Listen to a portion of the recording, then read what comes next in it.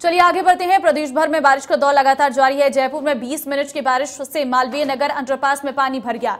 इस दौरान जल भराव के कारण दो बस, तीन कार और एक ऑटो पानी में फंस गए। जलभराव इतना अधिक था कि कार सवार लोगों ने कार की छत पर बैठकर अपनी जान बचाई। वहीं ऑटो सवार दो लोग बहते बहते बचे।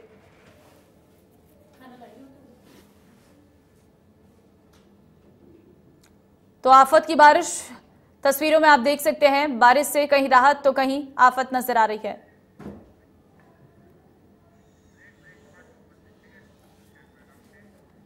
चलिए, यहाँ वक्त एक छोटे से ब्रेक का है। ब्रेक